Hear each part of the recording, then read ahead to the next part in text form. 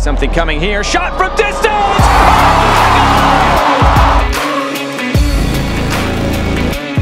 Loera, Cabango playing it in front. Goal! Loera into the box. Loera back into the box and it rolls into the back of the net. Loera.